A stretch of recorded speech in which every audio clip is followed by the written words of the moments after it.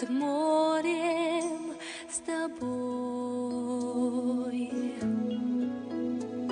Словно два созвездия, два ветра, две птицы.